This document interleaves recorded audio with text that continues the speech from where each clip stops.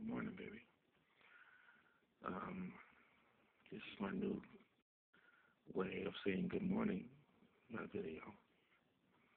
It's, uh, first of all, it's very early in the morning.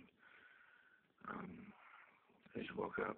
Well, for me, it's very early. For you, it's probably late afternoon, but it's like nine something, which is like zero o'clock for me.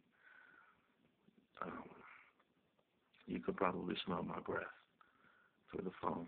You see my hair is just everywhere. Um, I got bad hair, look. Bad hair, baby. anyway, I love you. Just wanted to tell you that this morning. All right, talk to you later.